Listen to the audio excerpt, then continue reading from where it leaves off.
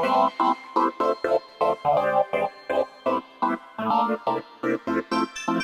you. 皆さんこんにちは。進行を務めさせていただきます木村と申します。よろしくお願いします。本日のテーマ、スマートシティ×マスということで、こちらの点についていろいろと深掘りしてきたらなと思っています。本日ゲストの日高さんエ、マースモビリティ革命の先にある全産業のゲームチェンジ執筆されるなど、その他いろいろな書籍を執筆されています。国の方でもいろいろな委員会で委員をされていて、ご自身もマーステックジャパンというスタートアップを立ち上げてですね、日本各地でマースのプロジェクトを手掛けられています。スマートシティのプロジェクトなんですけれども、2020年1月にトヨタがウーブンシティの構想を発表してから、全産業の方がですね、非常に積極的に参加しているような状況かと思っています。グローバルの方に目を移すと、今大体世界で700、直近のデータだとこれ2000とかですね、の都市でスマートシティのプロジェクトが行われているということが言われています。本格的に取り組んでいるところだと、こういうようなオペレーションセンターを設けて、街の管制を行いながら、データを最適に使って、どういうふうに都市を良くするかみたいなことが行われています。で日本の方でもかなり考え方進んできたなというのを感じてまして、内閣府が発表しているスーパーシティ構想に基づいて、いろいろなアセットからこうデータが吸い上げられて、それをこう分野ごとにしっかり管理して、最適なサービスを作っていくみたいなことが進んできたのかなと思っています。ご相談の中でも、こういうデータをどうやって使っていけばいいんだとか、それを活用して OS のところでプラットフォームのようなプレイヤーになっていきたいとか、そういったようなご相談が非常に多くなってきています。一方でですね、忘れてはならないのは当たり前のことなんですけれども、やっぱりこうスマートシティは地域の課題をこう解決しながら、住んでる方の QOL 向上に資するようなものではなくてはならないというのがあります。さらに重要なのが、COVID-19 の影響で、地域の方が求めているような、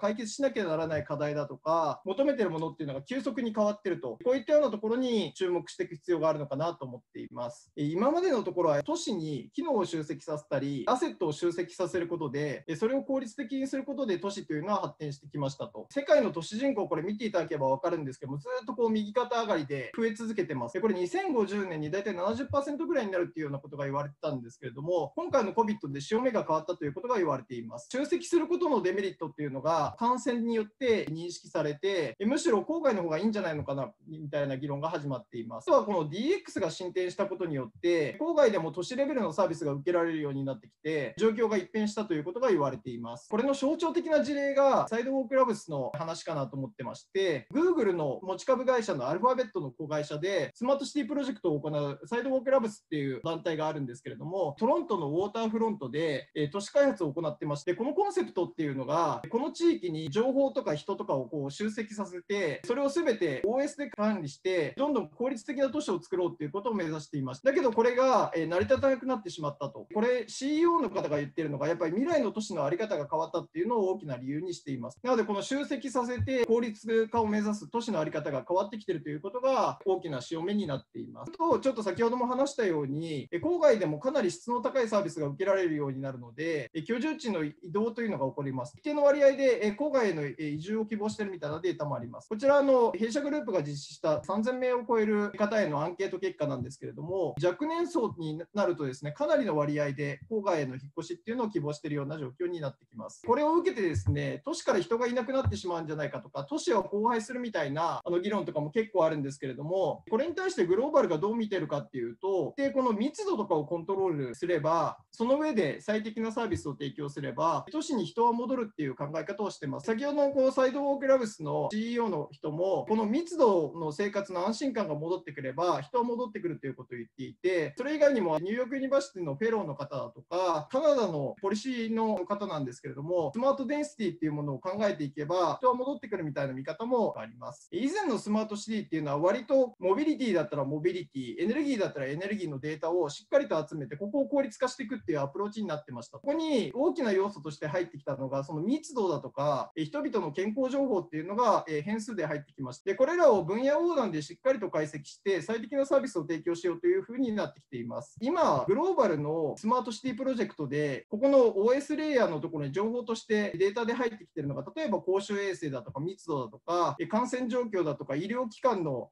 どれぐらい埋まってるとか、そういったような情報が入ってきています。こういうものを統合的に解析して、じゃあ今こういう状況だからこういう移動した方がいいねとか、こういうようなエネルギー消費した方がいいねっていうのが全部つながってきてるので、この辺をしっかりコントロールしていくのが重要になってくるかなと思っています。さっきのこう時間軸でちょっと見ていくとですね、どういったような状況かっていうと、以前は都市部のサービスだとか生活だとか移動コスト、不動産コストっていうので見てるんですですけれども、やっぱりあの都市部の方が従来はサービスの品質が高かったと、移動するコストも低かったので、不動産の価格が高くても都市に人口が集中してきてましたよっていう状況でした。これがどう変わったかというと、コロナによってや感染のリスクっていうのが非常に認識されました。あとはオンラインでサービスの質があまり変わらなくなりました。移動コストも郊外にいてもあまり移動する必要がないので相対的に下がりましたよっていうような状況になってきて、そうすると生活のクオリティを求めて郊外に移ってましたっていうような状況かなと思っています。これが先ほど言ったような密度だとか、公衆衛生の状況をしっかりコントロールできるようになるとどうなるかっていうのが未来の形の一つかなと思っていて、湿度の管理だとか感染症対策っていうのがしっかり行われるようになってくると、この感染リスクが抑えられます。リアルがもう一度戻ってくるので、集積することによるメリットっていうのが一定出てくるので、やっぱりサービスのクオリティを保つことができると。不動産のコストも相対的に郊外の方と近づいてくるので、そうするとまた人が戻ってくるでしょうと。こういったようなことが言われています。COVID-19 の環境で、スマートシティの中のコンポーネント、こういろいろあるんですけれども、やっぱりこう前提が変化してくるかなというのを思っています。繰り返しになるんですけれども、公衆衛生だとか密度の状況っていうのを考慮しながら、街が流動的に変わるっていうのがあるのかなと思っていて、でそのような前提の変化があると、やっぱり求められるサービスも変わります。その求められるサービスに応じて必要なデータっていうのも出てくるので、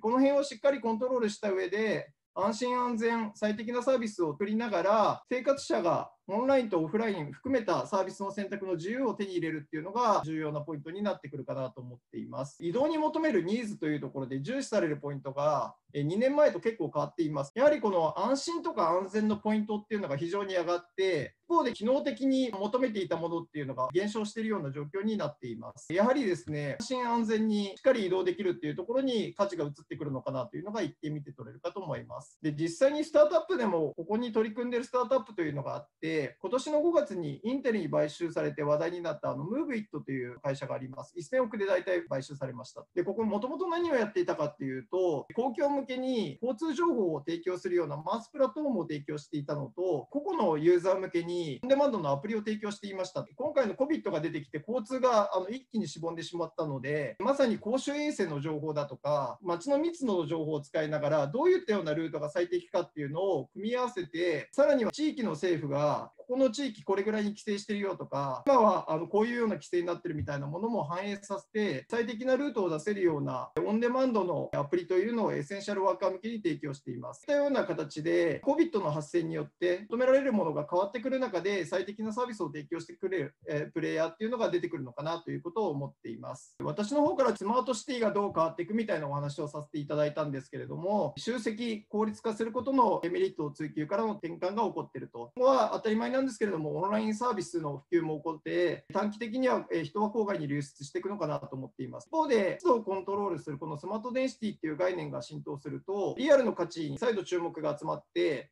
でリアルが機能し始めると、やっぱり集積の効果っていうのが一定出るので、長期的に都市に人は戻ってくるのかなと思っています。今後なんですけれども、課題の解決だとか、QOL 向上に求められるサービス実現するためには、やっぱり安心安全とかそういったようなものもテーマになってますし、効率的なっていう観点でも分野間のデータ連携っていうのがより活発になっていきながら、サービスの選択の自由が担保されているような状況が求められるのかなとております。日高さんにもあのマウスの観点からさらに深掘りいただいて、本日はディスカッションを進めていきたいなと思っています。それでは日高さんにパートの方をお渡ししたいと思います。それでは私の方からコロナというかポストコビットってどうなのかっていう話と、まあ、特にマウスに絡めてどういう動きがあるのかみたいなところで、まあ、まだ全てを存じ上げてるわけじゃないとは思うんですけれども、その論点整理をさせていただければと思います。2018年からマステックジャパンという会社と、一般社団法人でジャパンコンソーシアムマースという事務局をややっておりまして、で前職は鉄道会社の中で ICT を活用したサービス開発等々を行っておりました。まあ、それに入るきっかけとしては、やはりあの今日も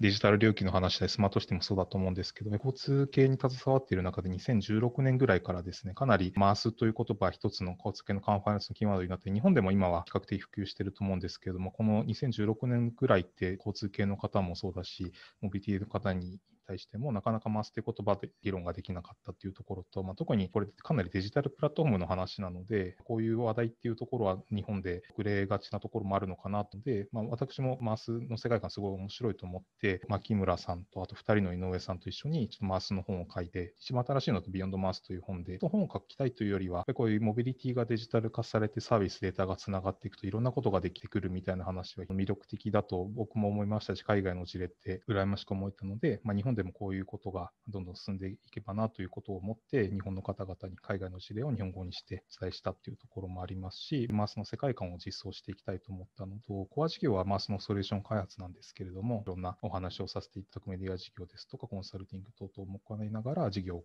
行っているという形でございます。これはもうゴールデンウィークぐらいに落合陽一さんのウィークリー落合さんで言ってたところで、動画は動かないけど物流が動いてると、まあ、特に5月ぐらいでステイホームで、えー、みんな家にこもって、人バイツとか、デマイカンスとか、そういう物流で注文して、物流の人たちはその分だけいろんなところに届けていった。そうで、あのデジタルの世界ってそこ関係ないので、もっと情報やり取りがしたりとか、集まりみたいなことみんなやってたりみたいなところもあったのかなというふうに思ってまして、で、まあ、特に移動っていうと、人が動かなくなってオンラインでどうなるのかみたいな話もそうですし、どうした先の価値っていうのは、なんかより求められたり、オンラインでもいいやみたいなところが圧力として出るのかなというふうに思っています。多分皆さんもリモートワークしてる方が多いと思うんですけども、やっぱり生産性とか接続性に場所が関係なくなってくると、そもそもオフィスって何だったのかとか、学校って何だったのかみたいな話もありますし、オフィス自体でソーシャルディスタンスを保とうみたいな話もあるけど、まあ、行き過ぎると、オフィスの中で全部カプセルに入れば釣らないんじゃないかみたいな、まあ、やっぱり産業構造としては、オフィス借りると、やっぱりお金も月々何十万とか何百万ってかかるので、まあ、リモートワークでいいんだったらそこのコストいらないんじゃないかみたいになってくると、階層化みたいなものも、まあ、結びついていく可能性もあるのかなみたいなところは、なんかこれまで言われてたところかなと思っています。まあ、ただ、快速化になってくると、単純に人がまばらになればいいっていうわけじゃなくて、これまでの生活を支えてたビジネスとか生活様式って集積されているものを前提としていたので、バラバラになると事業が成り立たなくなったりとか、鉄道とかでもある程度乗車率が100%ぐらいないと利益が取れないけど、それが50%ぐらいになると、まあ、こういう話は何かしらあの変化が出るだろうなと思いつつ、一方でコロナの前から、これまでなんか物を作って売ったりとか、大量生産だだったりとか、まあ、人口増加っていうのを前提としたビジネスモデルみたいなものっていうところが、まあ、インターネットに置き換えられたりもありますし、ロボットだったり AI だったりとか遠隔医療だったりとかっていうのはコロナの前から話が出てたと思うので、変化点っていうのはオリンピック後から2025ぐらいまで、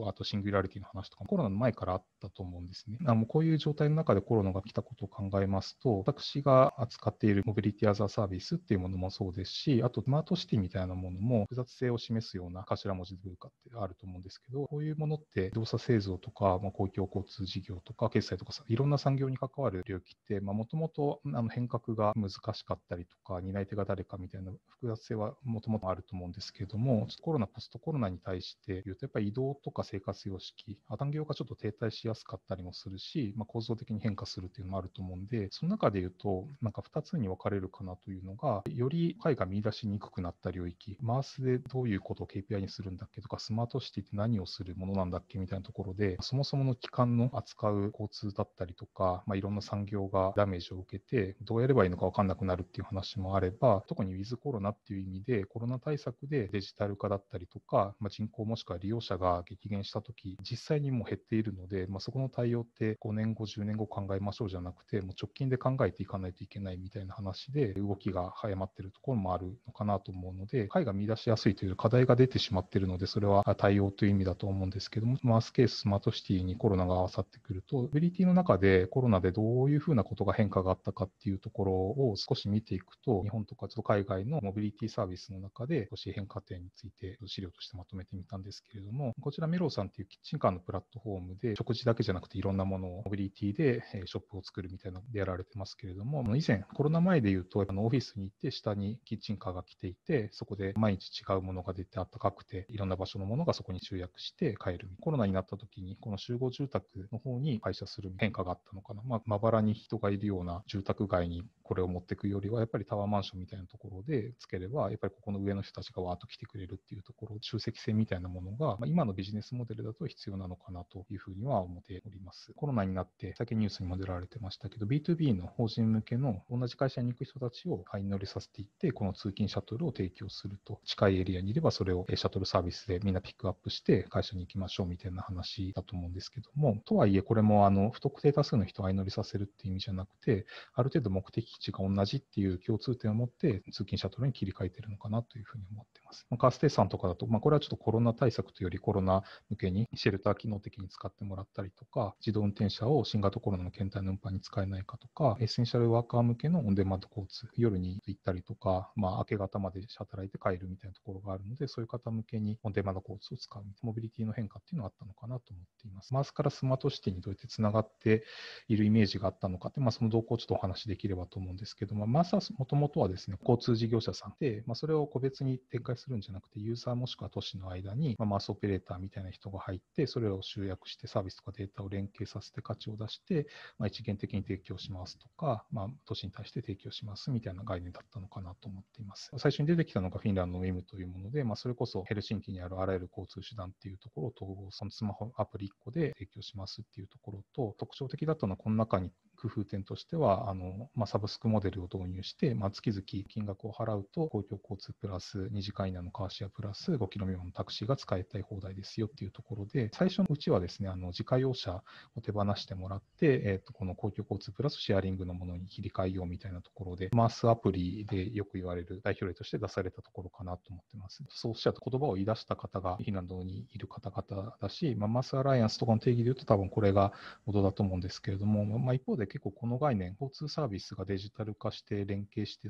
たり、統合したり、キュレーションされるっていう話は、やっぱりいろんな展開があって、マスレベル定義みたいなあの情報提供用決済、バンドリングとかサブスクモデルみたいな、ちょっとプラットフォームっぽいものになって、まあ、レベル4のところで政策と何のためにやるかみたいなところもありますし、これらの機能を使ってコロナに何か役立つものがあるのかみたいなところは多分世界中で検討が進んでいるし、ムービットさんとかそういうところも、まあ、そういうデータがあるからこそできていることもあるのかなと思うので、まあ、これからマースの話で言うと、これまではなんかこう自家用車を、自家用車から公共交通プラスシェアリングのサービスにみたいな話もあったと思うんですけど、何のためにやるかっていうのは変わってくる要素はあるんじゃないかなと思ってます。マースアプリからとマースシミュレーターコントローラーの潮流っていうところで、とまあ、一つマースアプリってさっき申し上げたようなところで統合したサービスっていうのはあるんですけれども、まあ、見方としてユーザーとの接点って見方ができると思うんですね。そうすると、それらから上がってくるデータ、それを都市レベルで見るとシミュレーションすれば、ダイヤを決めたりとか料金を最適化するという話も予測ができたりもありますし、まあ、予測するだけじゃなくて、そこから何かアクションを起こしていく、マースのの中でデータを使って分析して、ちょっと料金を変動させて混雑を避けようだったりとか、ダイヤをこうしようとかっていう話になってくると、マースシミュレーションしてコントロールする。ユーザー向けのアプリも含めて、モビリティとユーザーの間でいろんなことが行えるようになってくると。まあ、それがさらにいくと、都市オスマートシティの中のモビリティなのかなと思って、これ PTV さんというところでやっていて、まあ、イメージとしてはシムシティみたいなもので、地図の中に人の流動データを入れて、そこに交通のプロパティを入れて、例えばここに料金設定をして、10分に1本来るのか、何円なのかみたいなところでシミュレーションしていくと、今までも渋滞予測とか、鉄道の混雑予測って単体の予測はあったと思うんですけども、これからマースアプリになってくると、人がどこにいてどう移動したかみたいなトリップっていう移動情報が分かってきて、しかもそこに自動車とか公共交通がどう走ってたかって分かると、この街は少し鉄道の料金を安くするだけで公共交通乗ってくれるんだとか、このエリアはやっぱり雨が降ったり雪が降ったりするから、まあ、何やっても電車じゃなくて自家用車に依存するんだとか、なんかそういうようような傾向が見えてきたりするので、都市計画とか、まあ、そういう観点で非常に使われているところなのかなと思います。リトアニアのスタートアップの会社さんなんですけど、ベルリンのところで事業展開するって非常に話題になったところで、で彼らも MaaS アプリっていうのはあるんですけれども、この MaaS アプリっていうところが connect って書いてあって、でそこからですね、まあ、ユーザーとモビリティのデータがあるから、まあ、モビリティがどう使われているのかとか、ユーザーがどういうふうな行動をするのかみたいなところが、やっぱりそれらのデータから分かってくると。で、それをもとに manage で、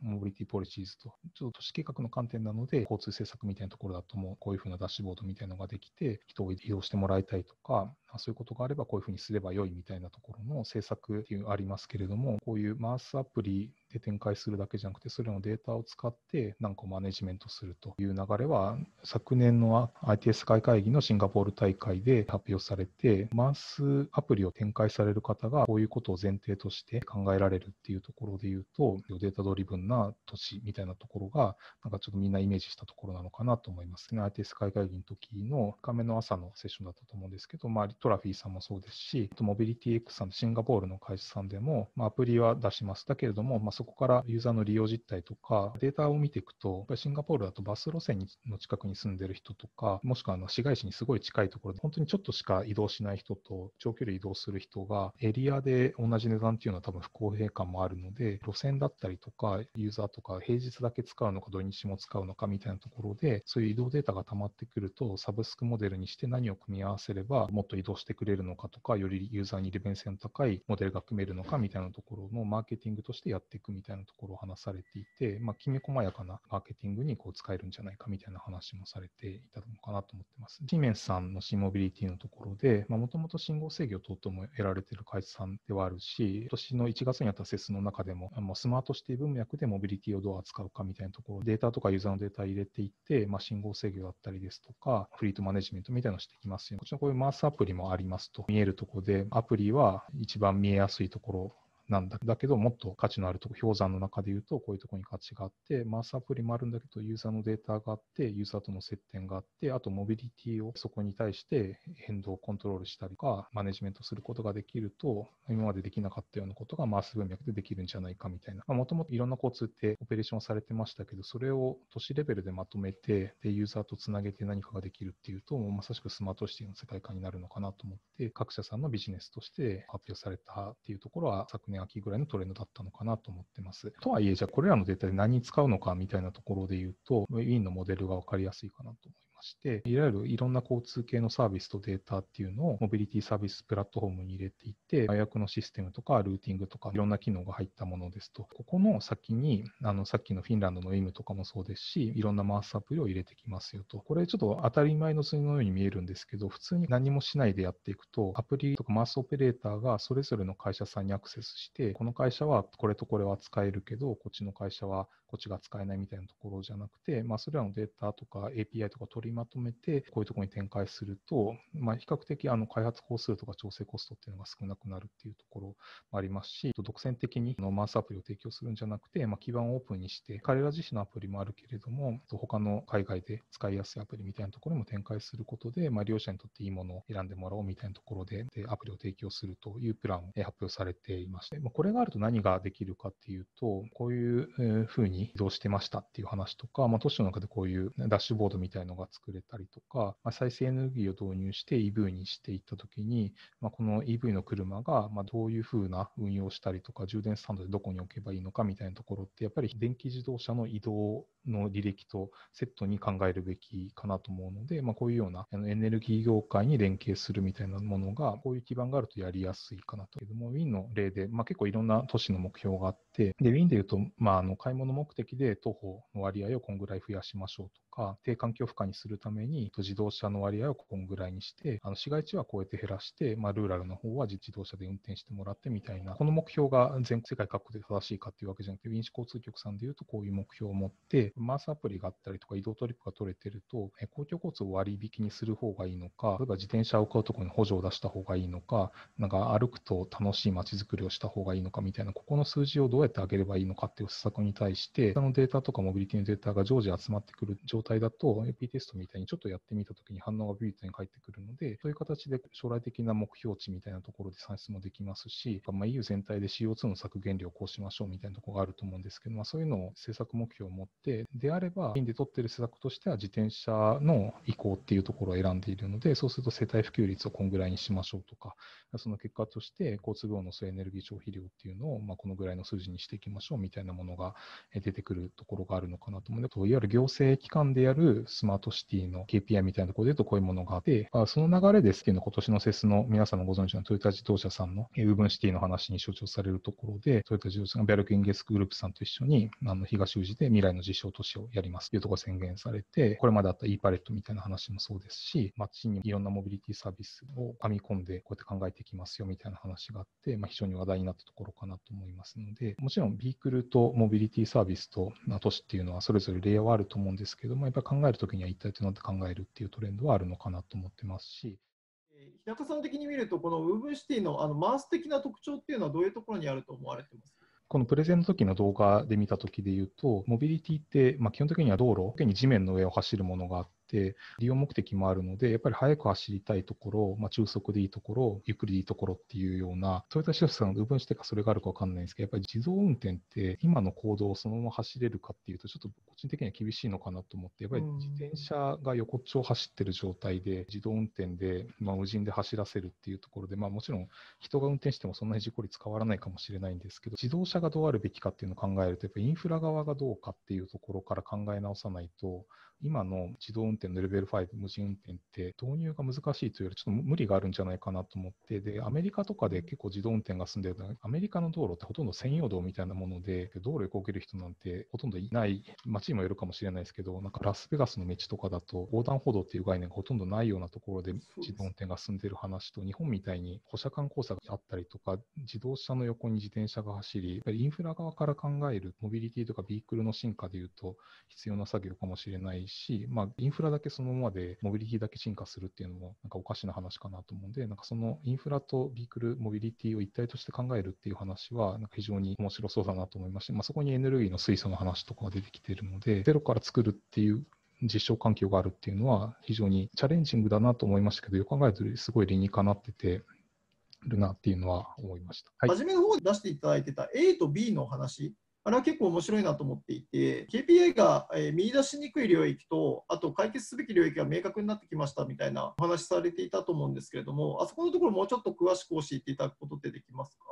解が見出しにくいっていうところで言うと、ちょっと先ほどの通りではあると思うんですけど、まあ、マースもスマートシティも、多分さっき木村さんのお話もあった通り、もちろんコロナだけじゃなくて、トロント校舎さんとのやり取りとか、まあ、なかなか。プライバシーの問題とか、いろいろありましたからね。もともとあったところにさらにな気気はしなくもはないんですけど、コロナだからこそデジタル化は必要だみたいな、なんか僕もそうだなと思って、うん、接触できないという話もありますし、アナログでできる、対処療法的にやることもできますけど、なんでうつるのかとか、どういうところで感染経路になっていくのかみたいなところってあの分析していかないと、なんか目で見てわかる、さっきの映ればみんながあの熱が出たりとかっていう話じゃないと思うんで、やっぱりそうすると、どういうふうに感染したかっていうのは、なんか多くのというよりは、つながったデータで分析していかないと、経路が分かんなかったりとか、何をすると映るのかみたいなところって見出しにくいんじゃないかなと思うので、やっぱりそういうのって、スマートシティというか分かんないですけど、なんか必要なところかなと思いつつ、うん、まあ、一方で、なんで撤退したかっていうあれなんですけど、多分全般的に都市開発も今後そうなっていくと思うんですけど、なんか付加価値をつけると、まあ、人が増えてきて、まあ、シムシティとかもそうだし、街づくりゲームもそうだと思うんですけど、なんか住宅地を作り、周りに飲食店を作作り、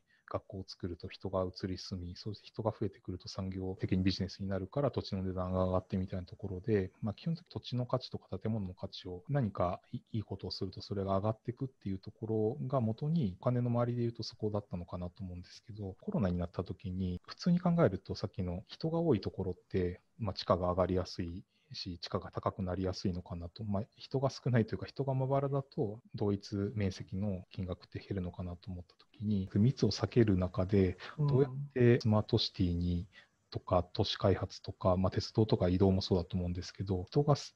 ないことが正な状態で、どうやってその場所の価値を上げていくのかっていうのが、いろんなものがこのモデルで、あのユーザーが多くなると利益が出るとか、たくさんの人が使うと利益が出るっていうところから、まあ、開放とかそうになると、まあ、それの反対になっていくので、そうするとスマートシティみたいなのを実装するお金とか、モチベーションって大量のお金が必要な時どうするかみたいなところは分かんなくなってきたかなと思いつつ、ままあ、一方でさっきのコロナ対策だったりですとか、エッセンシャルワーカー向けに、そういう方だけをオンデマンド交通でピックアップするみたいなところだと、やっぱりスマートフォンとモビリティサービスがなんか連携した状態じゃないとできないこともあると思います。ステイホームがあれだけ皆さんもされて、まあ、それなりに家の中でも充実してますみたいなのって、やっぱりスマートフォンでポチポチポチと押すと、スーパーとかに行かなくても物が送られてきたりとか、なんか宅配サービスで今まで食べられなかったような高級レストランも宅配サービスが出てきて、なんか逆にその場所に行くよりも家で食べれていいんじゃないかみたいな、なんかそっち側が、まあ、あれスマートシティというかわかんないですけど、ああいうものがあったからステイホームになっても、おにぎりしか食べれませんでしたみたいなのじゃなくて、結構そこでも楽しくできてるっていうところも一定数あるのかなと思うんで、まあ、そういうサービスっていうのはこれからも必要になってくるし、まあ、モビリティとか自動車とかの使われ方も、ウィズコロナとそっちのニーズ入ってくるのかなとは思うので。そうですね。なんかあの日高さんが今おっしゃったところで、このマースサービスとか、まあ、都市もそうなんですけども、集積させることでやっぱりこうメリットを出したり、経済性出してきた、うん、でマースサービスにおいても、やっぱりシェアリングのサービスとかって集積してるからこそ、まあ、相乗りを見つけられたりだとか、効率的にシェアが行えるから成り立ってきたっていう側面があって、今後のなんかこうマースサービスは逆にこの集積性っていうのを利用しづらくなるとは思っててですね、うんその時に何か会の方向性みたいなのっていうのは、どのようにお考えなんでしょうか？大混雑は良くないと思うんですけど、ある程度の集積性みたいなのは、この例から見ても必要な気がするので、オンラインで完結するのはそうでもできると思うんですけど、料理を作って誰かに展開しようと思ったら、まあ、少なくとも30人とか50人ぐらいが顧客としてあの利用してくれる人がいないといけないとかって考えると、なんかモビリティで置き換わるのかどうなのか分かんないんですけど、なんかそうですよね、結構難しいですよね。戻しもあるんじゃない、地方とか郊外だと基本的に空いてるからあそっちっていうのもありますけど、やっぱり地方の良さもあるけれども、なんかと都市の良さもあると思うんですね、文化的な面ですとか、ね、やっぱり人が多いからこそ投資が集中して、でそのお金でよりいいものを買って、それを提供したりとかっていう、なんかそ,、まあ、それが良くないんじゃないかっていう話だったとは思うんですけど、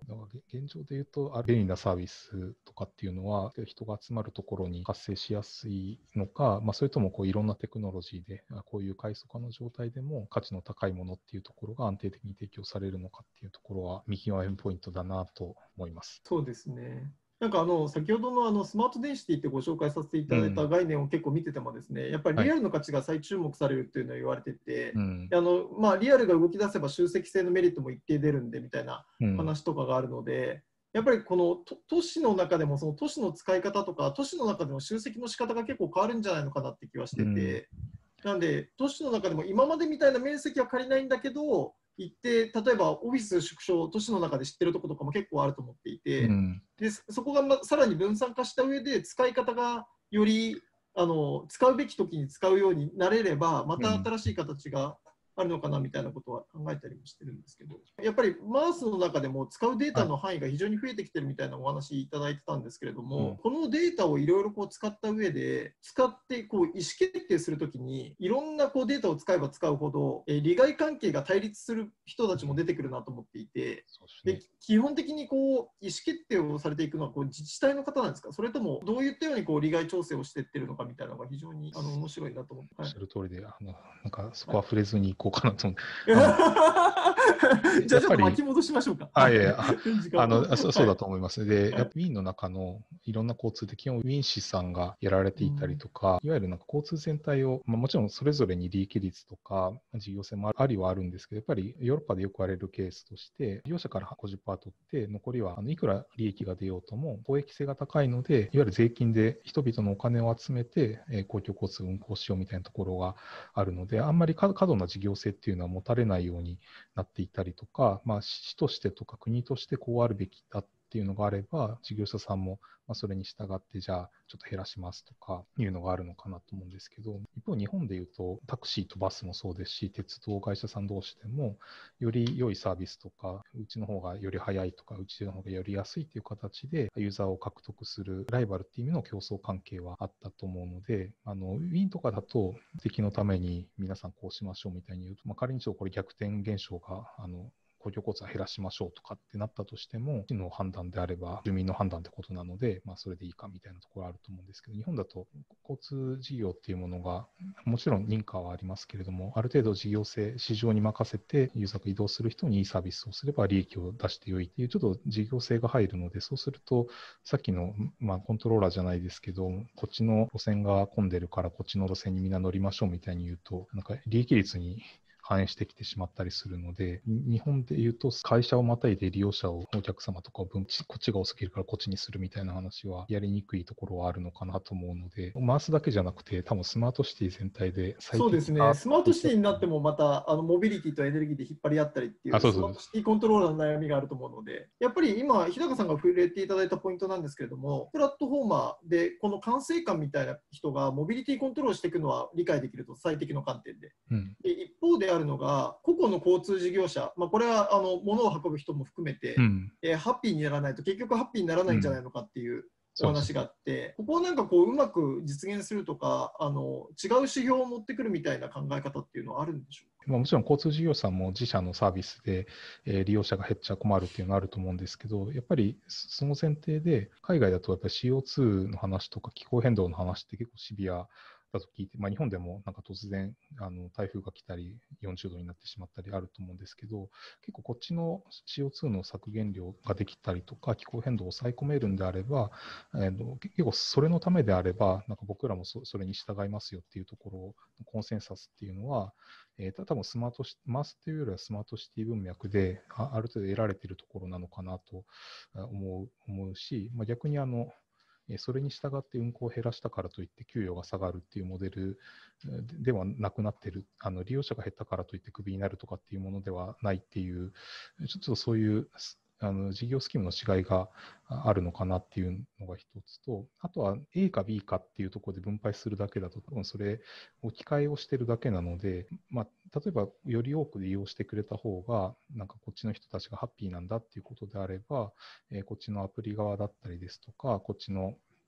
なんか平準化だったりとか、えー、なんか混雑緩和はするけれども、利用の総量自体は増えている状態にするためにころって、えー、多分ここのプラットフォームのありようとか、こっちのユーザーにどどういう、えー、価値を提供するかっていうところで、まあ、ウィあの WIM で言うと、サブスクモデルにして、っていうのもありますけど、やっぱこういういろんなアプリがあるから、えっと、なんか自転車が使いやすい何かだったりとか、えー、公共交通とシームレスにつなげやすいアプリとか、なんかいろんなユースケースごとにちゃんと作られて、その結果で、今まであのあんまり使われてこなかったような、こういうものが使われるようになるんだったら、えーままあ、いわゆる二方二方よしというか、二方とか三方よしの状態が作れるかなと思うので、まあ、一つ、このコントローラーというか、都市全体で何かを増やし、何かを減らしってしたときに、こっちの方々にダメージが起きないようなスキームであるあるかどうか、まあ、そういう状態を作れるかどうかっていうところと、あとは、あのやっぱりなんか全体として価値を生み出すとか、えーなんかそういうものを思考できるかどうかっていうところはあるかなと思う。なんかこの図だとそれ表現されてない気はするんですけど、うん、うん、なんかプラットフォームとか基盤とかスマートしていますって言っても、なんかそこに、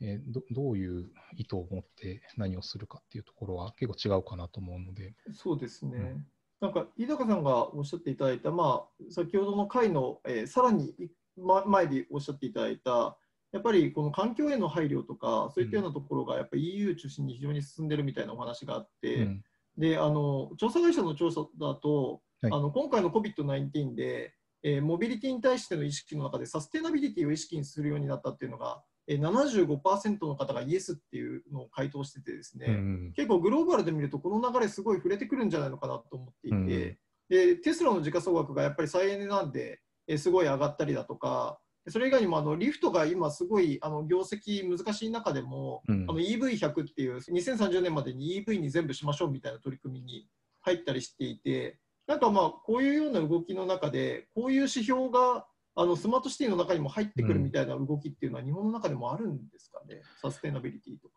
どうなんですかね。いや、あの、うん、まあ、あの、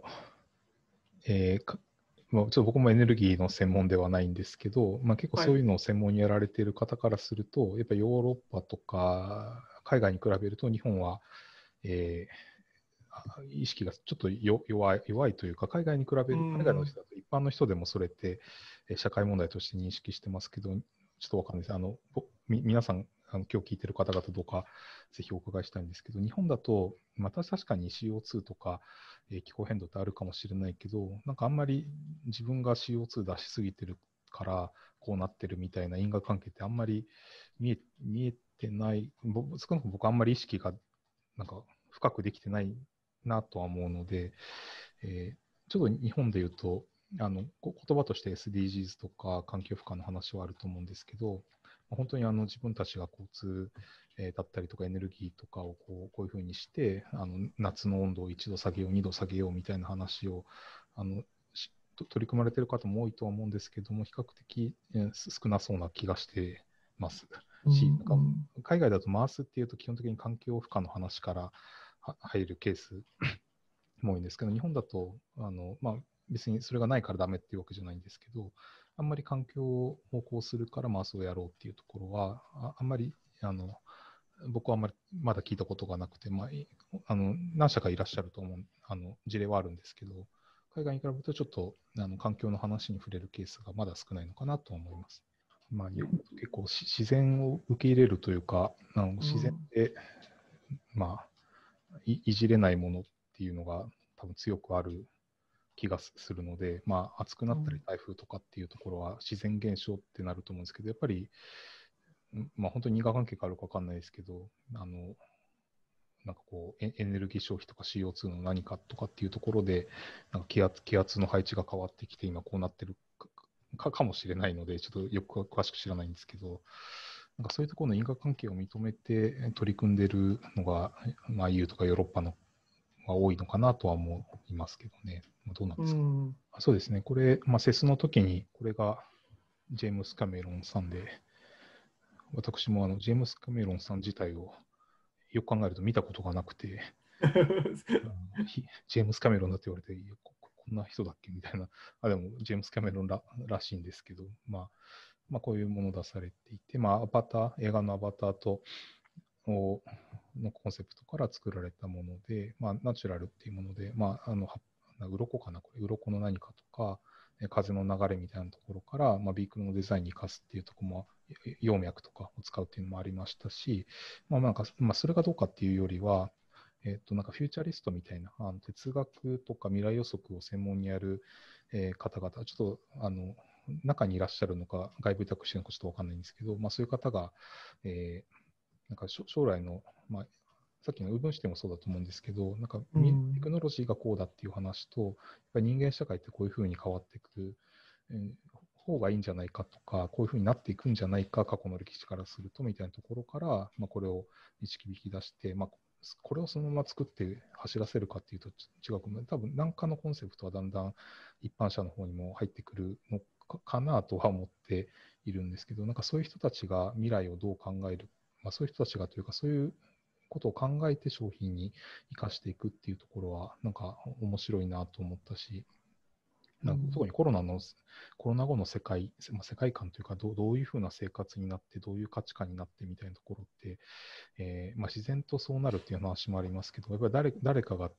提案したり定義したりするかなと思うので、まあ、そういうのって、なんか政治で決める話もあれば、こういう、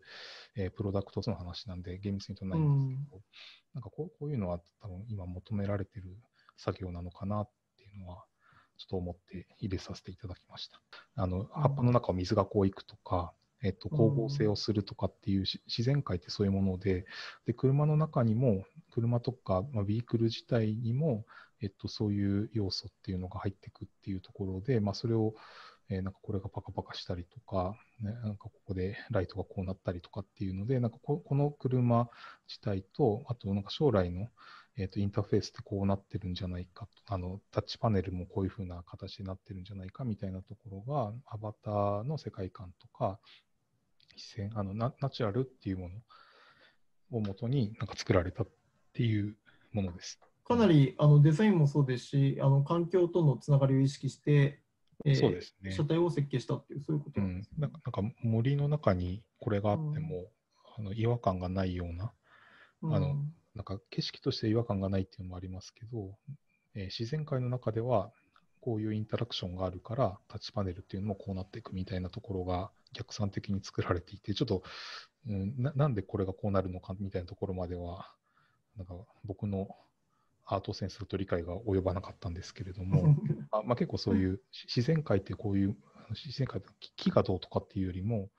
えー生命ってこういうふうに活動しているし、こういうふうにいなくなっていくし、えーこれは主張するけど、これは主張しないとか、いろんな自然界を定義して、でそれを、えー自動車、まあ、自動車って、うんまあ、言ってしまえば自然と相反する人工物であること確かなので、まあ、それを自然というものと共生するんであれば、こういう考え方で、まあまあ、一方でまあデザインもこういうふうになっていくんじゃななってくるみたいな話だったのかなっていうのを、ちょっとこっちがブースにいろいろ書いてあったんですけど、あの非常にはハイコンテキストの話で、なんか皆さんにお伝えできるぐらい理解してないかもしれないんですけど、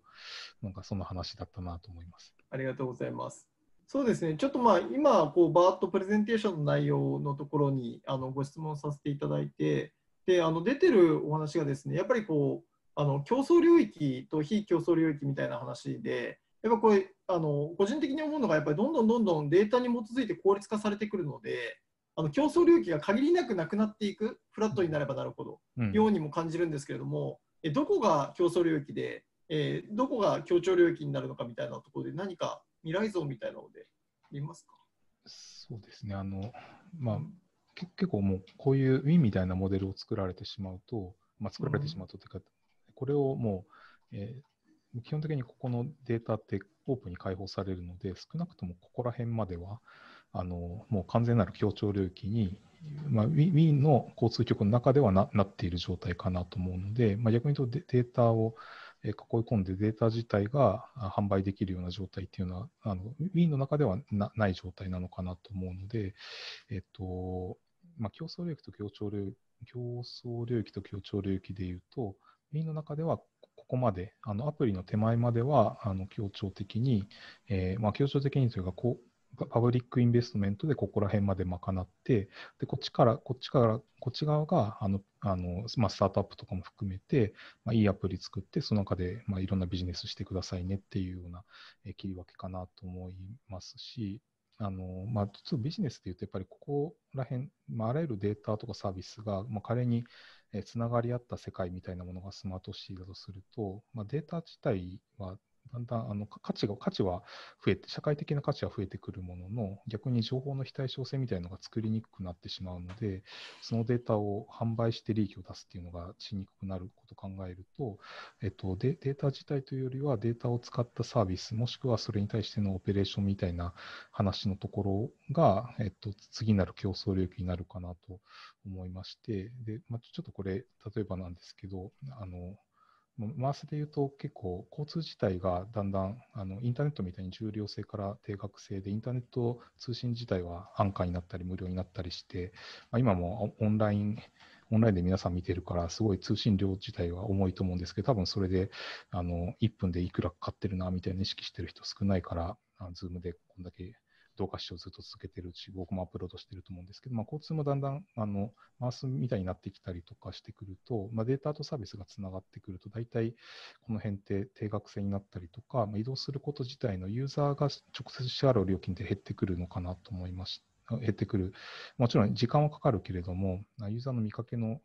コストっていうのは減ってくる可能性はあるかな。ユームとかでいうのサブスクモデルって多分こういう領域に入ってきたのかなと思いますし、あの2年前かな、あのえっと、モブさん、DNA さんのモブさんで、えっと、ドンベタクシーとかでラッピングされたタクシーであれば無料で行けますよみたいな話もあったのかなと。で、そうすると、競争領域でいうと、やっぱこのマース自体のサービスをどうかっていうところも、まあもちろん、あの、交通基盤なので、あのそこの決済手数料があるとは思うんですけれども、あのビジネスとかあの新規事業とかで考えると、まあ、例えば不動産価値を上げるためにモビリティ、まあ、あのインターネット通信で稼ぐというよりは、インターネット通信を使ったなんかサービスとかアプリケーションとか動画配信とか、物を買ったり売ったりとかっていうところで考えると、モビリティを使って、まあ、そこの住む場所をどうかするとか、介護センターみたいな、まあ、目的地側のなんか収益性とか利用者を増やすためにモビリティをうまく使いましょうみたいな話もあったりとか、まあ、これちょっと分かりやすい Google さんの例ですけど、あのクーポン、あのいいわゆる、えーと、2014年に取られた特許で、えー、電子クーポンであの前菜50%オフですよってそのその下にあなたは10分以内にタクシーが、無料タクシー来ますよみたいなサービスで、で、ゲットミーゼアでこれポチッと押すと迎えに来てくれて、そのレストランまで無料で送迎がつきますみたいな。やっぱこう、例えばこれを作られてしまうと、えー、なんかレストランどこにしようかなよりも、あのクリック一、まあ、クリック一つで物が届くもありますけど、なんかレストラン選ぶときもこれに選ばれたかどうかみたいなところで言うと、まあ、モビリティで収益を出すというよりは、こういうような広告ビジネスで価値を出したりとか、まあ、ちょっと囲い込みに近いかもしれないですけど、ここに載せられるかどうかで集客が決まるみたいな話も、もしかして出てるかもしれないので、なんか競争領域で言うと、なんかマースアプリとかデータ何かっていうところはだんだんちょっと協調領域的になってくるかなと思うので、まあ、逆に言うとそれらを前提として、え、どういうふうなサービスを作るか。で、そこで言うとモビリティ自体の話もあるかもしれないですし、やっぱりあのさっきのキッチンカーみたいな話とか、なんかもう移動することに付帯するアクティビティのところの方が、えー、協調競争領域的にどんどん出てくるのかなっていうのは、思っているところでございます。だから結構、回して言うと結構全体的に協調領域になりやすい、えー、ところかなっていうのは、特に基盤に近いところはですね。なるほど。どんどんどんどんこれがやっぱり進んでくると、移動自体がファンクションになって、その移動を生むことによって価値を出せるっていう、元にあるこのリアルのサービス事業者の方と、どういうふうにうまくやっていくかだとか、そっち側にこう入っていったりとか、そういうことが必要になってくるっていう。そうですね。すね。まあ、もちろん、今もね、通信キャリアさん、うん、あの日本で言うとね、3社さん、4、まあ、楽天さんいると4社さんあって、うん、通信自体も、まあ、もちろんビジネスになると思うんですけど、やっぱりその差別化のためには、えー、その通信キャリアさんが他にどういうサービス、アプリケーションを乗っけるかみたいな話があるかなと思うので、ちょっとマースもそれに近い、あのまあ、通信と交通ってちょっと似た要素もあって、ちょっと基盤的な、えー、何かがそこにくっつくことで価値が出るところかなとは思う。ので、もちろん交通自体とか通信自体の事業性はあると思うんですけど、ちょっとそれらをマスになるとよりインフラっぽさが出てくるかなと思うので、うん、競争領域というか、まあ、もちろんこのマース自体のところで、まあ、そういうシステムが出てくるから、そういうデータプラットフォームとかサービスプラットフォームっていうのを、えー、抑えていけば、まあ、ずっとあそこでの収益っていうのはある、まあ、ずっと使われ続け、基盤なので使われ続けると思うんですけど、まあ、一方で、なんかそれをってこっちのインターネットでパソコン通信でチャットしかできないところから、まあ、動画でやり取りできたりとか、えー、なんかレコメンドされてみると面白いとか、なんかそういうようなインターネットサービスとか SNS っぽい、いろんなアプリケーションが載ってきたからインターネット通信が、インターネットっていうものがこれだけ広がったのかな、ここ10年とか20年ので広がったのかなと思うんです。マースで言ってもこっち側の、ママースというのが多分スマートシティというのかもしれないですけど、なんかデータとサービスとかつながって、それぞれのコストあの今までのバラバラに払っていたりとか、あの移動するだけでお金がかかっていたところから、なんかちょっとその目的側がより、えー、なんかインターネットで動画ちょっと見るだけで500円とか1000円とか、まあ、多分20年ぐらい前ってそんぐらい i モードの頃とかってちょっと動画見るだけですごいお金がかかってたところから今、えー、そうなってるみたいなところ、なんかこっち側の方が、うん、なんか競争領域的に、面白いのかなと思いますし、ただ多分ここって、まあ、僕はマースやってたので、マースの先でビヨンドマースっていう名前にしてますけど、多分ここが多分スマートシティの一個のなんか価値みたいなところとか、新しい産業なのかなと思うので、まあ、それってまだあんまり厳密に定義され、なんかスマートシティのアーキテクチャは定義されてるけど、そこによって成り立つもの、えー、今までと何が違うんですかっっていうところの効率性だけじゃなくて、なんかこんなサービスができるようになりますっていうのは、多分これから想像していく話かなと思うので、多分ままだ答えはそんなにないけど、ちょっと法画事例みたいなのはちょこちょこ出てるかなと思いますし、あのまあ、Google トロントのサイドオクロボさんが考えている、えー、新しい価値とかもあれば、多分ここってまだ未開拓の部分も大きいと思うので、えー、なんかここら辺深掘りできたりとか見つけられると面白いのかなと思って、まあ、別に無理やり他の産業と組み合わせなくても、モビリティの中で閉じてもいいとは思うんですけど、なんかこっちの方が作りやすい状態かなっていうのは思います。はい、ありがとうございます。やっぱりこう地域課題だったり、そこにいる住民の方の課題を解決するっていうので、日本でこの領域やったら面白いんじゃないのか、スマートシティとか回すでっていう、うん、ところがあれば、はい、ぜひいただければと思います。まあ、今で言うと、やっぱりここのあのまあ、もちろんコロナウイルス自体は感染予防とかだと思うんですけど、やっぱりあの移動で言うと、結構今、コロナになってきて、さっきの話か、えっ、ー、と、このえー、人が減ったっていうのもあると思うんですけど、なんか、あの、階層化みたいな話もそうだし、えー、えー、と、なんかリモートワークにしたり、オフィスに行ったり、シェアオフィスに行ったりとかって結構移動がバラバラに、バラバラっていうか、今までみたいに同じ時間に大体みんな同じ時間に出社して同じ時間ぐらいに帰るみたいな話じゃなくて、もう、えー、の上りと下りっていうんですかね、みんなが方向が変わってきたりとかもすると思うんで、なんか今、日本の中で言うと、これまであの階層化の話じゃないですけど、大体みんなが同じような生活スタイルだったところから、特にリモートワークとか遠隔医療、遠隔教育みたいなのが出てきたときに、あの、モビリティサービスもそうですけど、なんかどういうサービスパッケージにしていけば、あの移動手段とかモビリティビジネスとあの新しい産業が作れるのかって、多分あの、なんだろう、今作れば今作らないといけないし、なんか作りやすい状態なのかなとも思うので、えっと、なんか日本の中で言うと、結構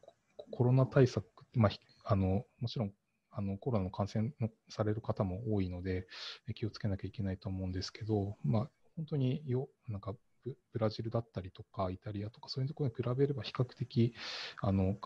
感染での重症者も少ない状態でありながらも、みんな生活様式が変わっているところだと思うので、ちょっとこれを機にこのちょっと階層化になるのかどうかっていうのは、ちょっと僕もわからないところもありますけど、なんか新しいモビリティ、マースと言わずとも、ちょっとマースの概念は多分使えると僕はいいんじゃないかなと思ってるんですけど、マースとかスマートシティの観点で、ちょっと新しい生活様式であれば、え、こういうモビリティサービス、もしくは産業構造にするといいみたいな話は、なんか今、徐々にいろんな人が考え、いろんな動きもある段階かなと思うので、なんか今で言うと、ちょっとそういうところは僕は、面白いって、面白がってるわけじゃないんですけど、なんか今までななかなかあのスマートシティっても変わりにくかったけど、ちょっとコロナっていうところで課題がもう完全に出てきてる段階であれば、なんかそこってあの手を挙げればやりやすやりやすいというか、えー、もう課題が目の前に迫ってるので、ちょっとこういうプランでやりませんかみたいなところで言うと、まあ、比較的あのやる理由がない状態、コロナ前の、まあ、気持ちはわかるけど、それは10年後でいいんじゃないかみたいなところが、もう完全に迫ってるところもあると思うんで、やらなきゃいけないというところもあると思いますし、あの別にマースとかスマートシティの文脈じゃなくてもやらなきゃいけないこともあるとは思うんですけど、ちょっとこれらの業界、まあ多分今日聞いてらっしゃる方こういうところに関わりのある方が多いと思いますので、ちょっと逆にもう、あの、日本の中、もしくはコロナウィズコロナとかポストコロナで、えー、こういうところ変えていかないといけないとか、こういうところ変えられたらもっといい状態にできるみたいなところを定義すれば、逆にあの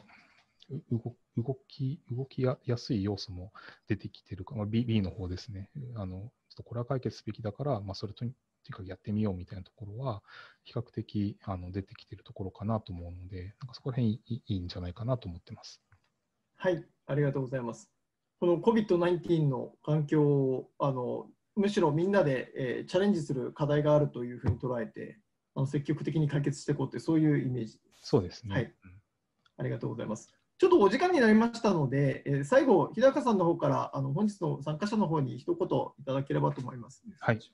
はい本日、あの皆さん聞いていただいてありがとうございました。で、えっと、まあ、ちょっと私も、あの、今日いろんな事例をお話ししましたけど、やっぱりプレイヤーの一人だと思ってますし、あの、まあ、マース、僕らはちょっとマースを専門にやっておりますけれども、さっきの通りで、あの、自動車自体もそうだし、交通事業もそうだし、やっぱり他の産業と組み合わせて課題解決とか、新しいものを作っていくっていう、まあ、あの、事業につながる話もあれば、やっぱこういっていろんなディスカッションができるようになったっていうのも、なんかオンラインの良さだと思うんで、今日ちょっと一方的に、あの、いろいろお話をさせていただきましたけれども、ぜひ、あの、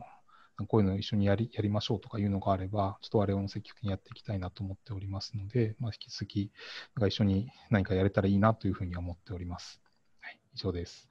はい。日高さん、そうですね。本日はあのいろいろなお話聞かせいただいてありがとうございました。今回ですね、あのスマートシティかけるマスっていう非常に広い範囲で非常に難しいところもあったかと思うんですけれども、いろんな方面からお話を伺うことができて、大変勉強になりました。ありがとうございました。あのまたご参加いただいた皆様ありがとうございました。あの引き続き、こちらのチャンネルではあのいろいろな情報を発信していきますので、また、ご参加いただければと思います。本日はご参加いただいてありがとうございました。ありがとうございました。